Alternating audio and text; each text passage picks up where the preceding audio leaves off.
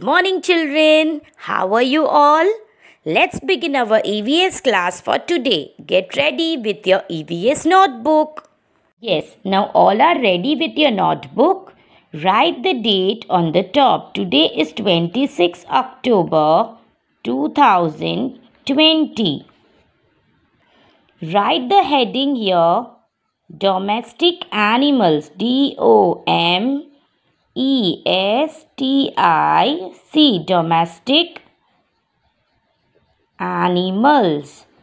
So this is our heading.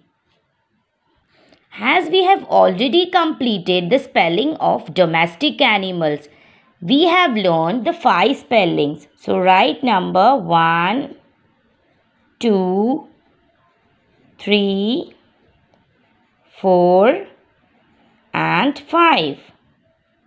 So let's begin with the first one.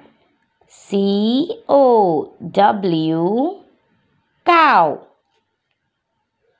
D O G dog. C A T cat. S H double E P sheep. The last one H E N hen cow dog cat sheep and hen. Similarly, draw a line at the center of your page and write the same spellings. C O W cow. D O G dog C A T cat. Make sure you are writing in a very good handwriting. S H double E P sheep. H E N hen. See, we have completed our two lines. The names of domestic animals. Let's go with another topic in EVS. So take out a fresh page and write the date on the top here. Today's date is 26 October 2020.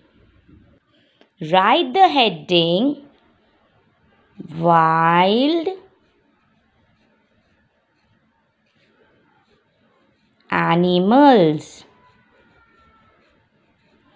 After finishing domestic animals, let's learn the names of wild animals. So write the heading Wild Animals.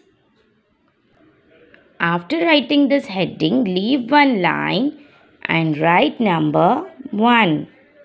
And write the spelling of lion. L-I-O-N.